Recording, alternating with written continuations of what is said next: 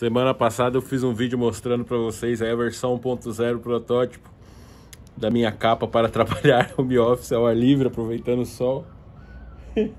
Hoje estou aqui de volta com a versão 2.0. Essa versão aqui já está quase pronta para comercializar, hein? Olha a vinheta, deixe seu like, se inscreve no canal e vamos ao vídeo.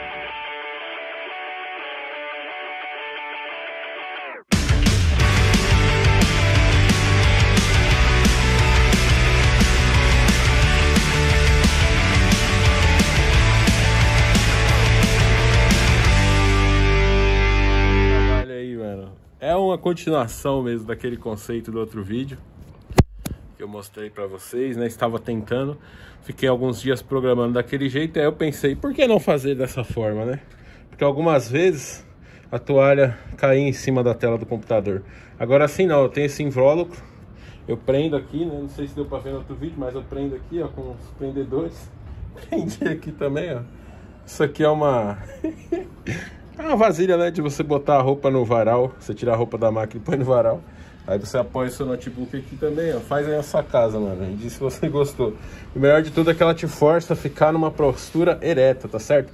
Porque se você sai da postura, o pano cai na sua cara e você não consegue usar o computador. Então, além de ser um produto muito legal aí pra gente ficar no sol trabalhando, também é um produto de ergonomia, tá certo? Olha aí.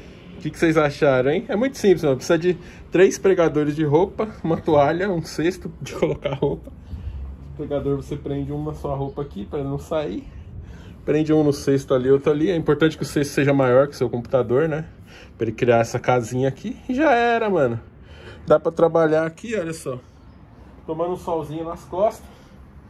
Tomando um solzinho nas pernas, né? E o legal é que eu posso mudar de posição se eu quiser também. Se eu quiser ficar de frente pro sol, não tem problema, porque dá para enxergar do mesmo jeito. E esse resultado ainda melhora se eu colocar uma toalha mais escura aqui, porque ela vai deixar entrar menos luz. Por mais que no vídeo não dê para ver, mas ó, a tela do computador aqui dá para ver certinho aqui as coisas que eu preciso para programar. Então, essa foi a gambiarra da semana aí. Esse é o quadro Tecnologia de Quinta, sai toda quinta-feira aqui no canal do Cristiano às nove da noite, não perca.